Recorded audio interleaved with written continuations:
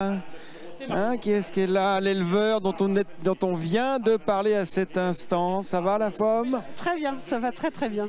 Bon alors, le couple André, donc effectivement, qui fait sensation. Raconte-nous un peu l'histoire. Antoine Bélanger nous a, vient de nous expliquer que vous aviez envoyé le poulain que vous aviez élevé, mais d'où vient la mère, etc. Le croisement aussi avec Persian King? Alors cette jument en fait euh, est une euh, très bonne, euh, très belle souche Wildenstein et, et en fait j'ai eu la chance d'avoir cette, cette pouliche euh, euh, Miss Monde, la mère euh, quand elle était folle et, voilà on l'a élevée, on en a pris bien soin et on l'a fait saillir à 3 ans. parce qu'elle voilà, elle avait un petit souci derrière et elle ne pouvait pas courir. Mais elle est très belle et on, a, on a regardé nos croisements entre Jean-Baptiste, Clotilde, qui est aussi ma sœur, qui est, est co-éleveur.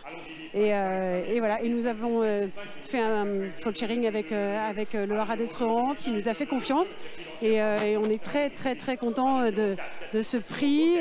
et surtout, on, voilà, on l'a fait préparer chez Antoine, avec qui j'ai travaillé très longtemps au Haras des Monceaux. Donc voilà, c'est une belle, une belle histoire. Et oui, parce qu'effectivement, Miss Monde, c'était le rat des Monceaux. Antoine Bélanger, l'ancien responsable des Yearlings des Monceaux. Toi-même, de- pendant une dizaine, un peu plus même, je crois, au Haras des Monceaux. Maintenant, tu es indépendante. Raconte-nous vite fait ton activité actuelle.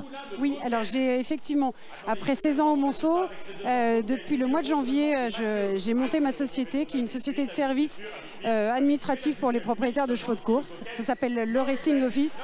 Et, je, propose voilà, mon réseau et mon savoir-faire pour les propriétaires qui ont besoin qu'on leur simplifie la vie en gestion et, pour voilà, toutes les tracasseries administratives avec France Gallo ou l'IFCE. Et, et euh, je suis là pour, euh, pour les aider. Spécialiste donc des gros mots. hein. Service administratif, pour moi, c'est un gros mot. hein. Bravo en tout cas.